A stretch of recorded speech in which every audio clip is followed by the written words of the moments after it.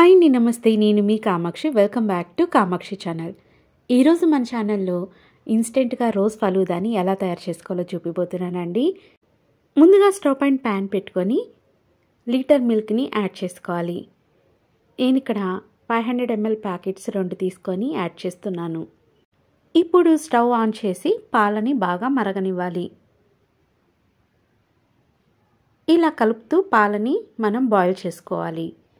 Once మనకి boiling వస్తుంది అన్నప్పుడు మన దగ్గర ఉన్న ఫలుదా మిక్స్ని కొంచెం కొంచెం యాడ్ చేస్తూ మిక్స్ చేసుకోవాలి.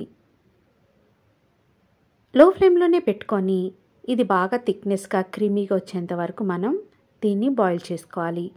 కనీసం మనకి పది నుంచి పదిహేను నిమిషాలు ఇది మరగాలి. ఇలా మరిగి చిక్కగా వచ్చినప్పుడు ఒకసారి మనము సేమియా ఉడికిందో లేదో కూడా చెక్ చేసుకుందాము. ఇలా కొంచెం సేమియా తీసుకొని చెక్ చేసుకుందామండి. ఉడికిందో లేదో మనకి చూస్తేనే తెలిసిపోతుంది. ఇదైతే సేమియా ఉడికిపోయింది. ఇప్పుడు నేను స్టవ్ ఆఫ్ చేస్తున్నాను. తర్వాత ఇది రూమ్ టెంపరేచర్లోకి వచ్చేంత వరకు బయటే ఉంచాలి. తర్వాత దీన్ని ఫ్రిడ్జ్లో పెట్టి కంప్లీట్గా కూల్నెస్ వచ్చేంత వరకు ఉంచాలి. కూల్గా వచ్చిన తర్వాత దీన్ని గ్లాస్లోకి సర్వ్ చేసుకోవాలి. తర్వాత ఇందులోకి మీకు నచ్చిన ఫ్లేవర్డ్ ఐస్ క్రీమ్ని వన్ స్కూప్ యాడ్ చేసుకోవాలి. నేను ఇక్కడైతే వెన్నెల ఐస్ క్రీమ్ని యాడ్ చేస్తున్నాను. తర్వాత ఇందులోకి టూటీ ఫ్రూటీని యాడ్ చేసి అండ్ ఫైనల్గా చెర్రీని గార్నిష్ చేసి సర్వ్ చేస్తున్నాను. చాలా tasty rose falooda ready.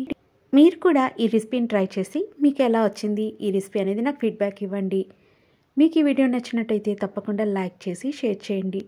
Next మంచి వీడియోస్తో మీ ముందుకు వస్తాను. అంతవరకు బాయ్ అండి. Take care.